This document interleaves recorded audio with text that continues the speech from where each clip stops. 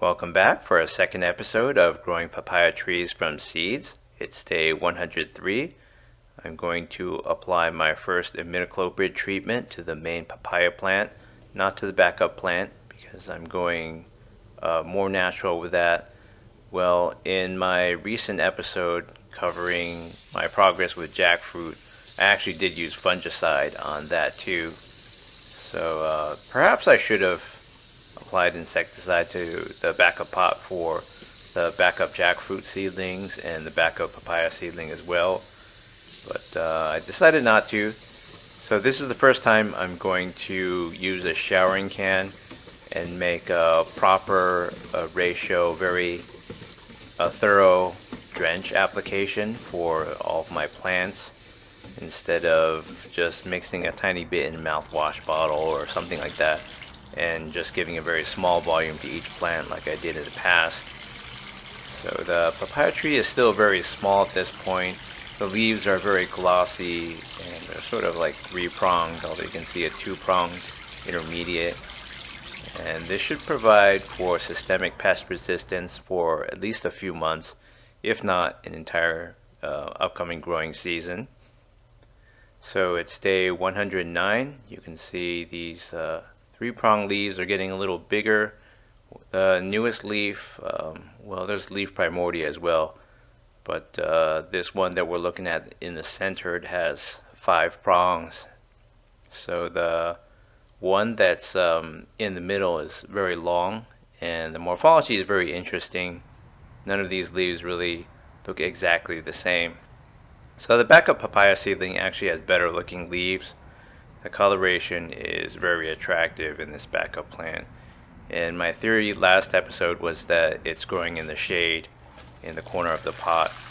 So due to its positioning, um, the leaves uh, adapted and grew bigger, just like they did with my avocado plant growing in shade. So my fertilizer regimen is uh, one small scoop of Miracle-Gro and one pinch of crushed vitamin powder every two weeks. And in between um, halfway I just uh, do a little bit of watering. And that was true for the summer but now that it's getting late in the year I don't have to do that anymore. So it's day 117 you can see the leaves are getting bigger. The stem is nice and thick. It's not like a lot of other plants that uh, have a very hard time standing up on their own so this is uh, one of the fruit trees that won't cause you any kind of annoyance. It is a very slow grower though, so it takes so long to get to this point. And I'm sure someone's eventually going to come along in the comment section and say something like I threw a seed, just one seed in dirt outside, and after 100 days it was bigger than a mature redwood tree. So this one, uh, it's doing really well, uh, despite not getting any fertilizer and the stem also looks very nice. The, the green coloration is very attractive on that one. So I think plants that get more sunlight, direct sunlight, have adaptations such as uh, more leaf curling, uh, waxier coating, and that's pretty much what we're seeing here in action. So this is one of those uh, weekends in which I'm just doing a regular tap watering. So I just fill it all the way to the brim and let it drain through. Uh, perhaps at this point it's not as necessary because the root system is no doubt very well established for this plant and probably goes all the way to the bottom. So it's only a matter of time before the pot forms a, a root ball at the bottom. And this backup pot has no drainage, so I can't overwater it. And I'm really just going by feel. And I, I know it's not really a fair comparison to compare plants, uh, the backup seedlings in this pot compared to the main pots of this papaya series and also the jackfruit series. So it is what it is. I never intended to keep those things for this long, but I decided it would be a good set of controls. So I bought a battery powered backpack sprayer. You won't be hearing much of that squeaky water bottle anymore. It still has its uses, but this is by far a more uh, labor saving device it's really fun to play with actually and I get to wash the leaves of all my plants and also supply a lot of distilled water to this pot So if I were to use just tap water and spread all the leaves, there would just be more and more water spots. It would be more unsightly as time goes by. And then uh, I would have no choice but to use distilled water at some point to wash away all those hard water spots for the sake of videography.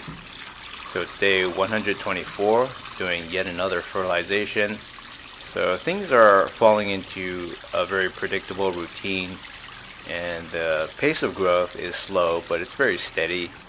Whenever I find a routine that works, I just stick with it until I fail to get the same results or I see some new problems. It's day 126. The leaves are getting more geometrically complicated as time goes on. Uh, this one isn't as broad and fleshy. Uh, the prongs of the leaves aren't as broad and fleshy as the backup plant, as you'll see. So uh, the backup plant actually looks more aesthetic, but uh, this one is bigger and it's got more leaves. So my opinion is that this main plant is doing better. It's got a pot all to itself. It's got more sunlight. Now whether or not this uh, plant enjoys uh, more direct sun remains to be seen. Uh, there are some other plants that will burn in direct sunlight. So I'm finding that my avocado and mango are burning very easily from even the weakest of winter sunlight in the morning. So uh, you can see here that the leaves are also becoming more ornate. In the backup plant, there are fewer of them. So uh, my feeling is that after a few months, the difference will be pretty big. So this is uh, myclobutanil. On day 130, I decided to apply this fungicide to my plants. This species is very susceptible to damping off during germination and if you look at all of these recommendations, it says mix half a fluid ounce. Uh, some have more uh, going in there in the recipe, but if you go with one half fluid ounce into one gallon of water, that's uh, about one volume per 255 volumes of uh, distilled water. You could use tap water, but uh, again, you would just leave a bunch of water spots on your plant leaves. So um, that's the formula right there. And this is actually what the backpack sprayer is for, applying pesticides. And um, there are manual pump versions of these backpack sprayers, but that's a lot of work. So um, maybe this isn't what every pro uses, but it could certainly uh, be used in commercial landscaping um, on a small scale, of course, not to cover uh, something giant like a fruit orchard. So I'm just going to pour in a gallon of uh, distilled water here, uh, close the lid, shake it up real well, and then spray all my plants. So uh, this thing holds up to 4 gallons, and the battery lasts for quite a while. I could spray, I don't know, perhaps uh, 20 gallons or something before the battery would run out. Um, well, maybe it's less, but uh, it's just way more efficient than trying to spray anything by hand. And of course you have to be a little bit more careful when you're spraying chemicals like this and spray it onto your own skin or inhale it or anything like that. So um, yeah, I'm just dousing all my plant leaves and making sure that uh, they'll get that fungicide effect and hopefully um, because these were very susceptible to damping off in the seedling phase that I was thinking maybe this will confer some a great benefit because it certainly did for my pomegranate tree. And it pretty much uh, removed the brakes on the growth and that really took off after I sprayed this myclobutanil which uh, my first treatments I actually just used a small handheld spray bottle that cost about a dollar or something because I didn't want to uh, um, risk it and just not be able to use like a big spray bottle that was nice for some uh, other purposes later on. So as you can see the leaf structure is very ornate and the leaves are really curled um, compared to uh, what they were before. So I'm a little bit worried that maybe this is sort of dehydrated in the sense that the, the Miracle-Gro uh, salt is building up in the soil. So I'm very tempted to do a big uh, tap water flush out like I did with my avocado series um, going back a few months uh, well every few months I, I do it for the avocado and many of my other plants as well yeah, it's just a lot of uh, routine watering and fertilizing every two weeks. And other than that, uh, this plant has been very easy to care for. It's uh, on a balcony. I'm on the second floor, so perhaps I'm a little more insulated from the bugs. So I'm watering this backup pot with distilled water instead of tap water because uh, I don't want to salt the earth, so to speak, by using tap water because San Diego County tap water is among the hardest in the nation. So the total dissolved solids, as they like to say, is very high. Um, it's uh, among the highest in the nation. So if you keep pouring gallons of water in there, um, it's just going to accumulate a lot of minerals. And since those are dissolvable, they can compete with the plant in pulling water. So eventually your plants won't be able to pull water into their uh, root systems. So I'm just going to use some distilled water. And uh, after a few months, um, you know, after it's very obvious that these have lagged behind too much compared to the ones in the main pot that have had fertilizer all this time, then I can probably give them away. So it's day 144. Um, again, the new leaves are very curly, but they seem to uncurl fine. There's no signs of leaf burn, uh, no signs of fertilizer burn, so I'm not sure that uh, fertilizer is a problem. You can see a little bit of brown spots uh, on those lower leaves. So those are like practically useless at this point and if the plant sheds them it's it's really no loss.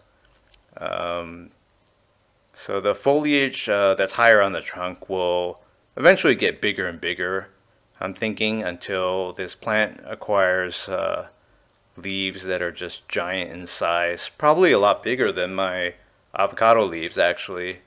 So the backup seedling has a brown spot on one of its earliest uh, true leaves, lower on the trunk. And actually it's the main seedling that has uh, those early starter leaves not looking so hot. I think it's just further along in its development and this will be the first one to shed all of those uh, tiny little leaves that aren't so complex that have one, two, or three prongs. Well, the ones that only have one, so to speak, they're really just uh, sort of oval uh, shaped leaves that don't really have any interesting features. So you can see a lot of curling going on. Uh, the plant is otherwise doing fine. The stem thickness to leaf size ratio is just amazing in this species. It doesn't have all the problems that the other fruit trees have with all this phototropism and falling over every nanosecond. So uh, papaya seedlings start off very slow. So the, the differences between this uh, unnourished one versus the nourished one in the main pot are uh, not very obvious compared to the jackfruit series. So when I was watering earlier with a sprayer, uh, you may have noticed, and I covered this in my jackfruit uh, second episode as well, that the three backup jackfruit seedlings have a lot more leaf defects and they all uh, look a lot more yellow than the two uh, main pot seedlings that I've chosen to continue the series with. My papaya seedlings are now five months old to end this second episode. I expect in terms of future growth that the main seedling will be almost tall enough for me to call it a sapling by the end of the year mark. I know it's only a few inches tall, but the growth should really accelerate from here.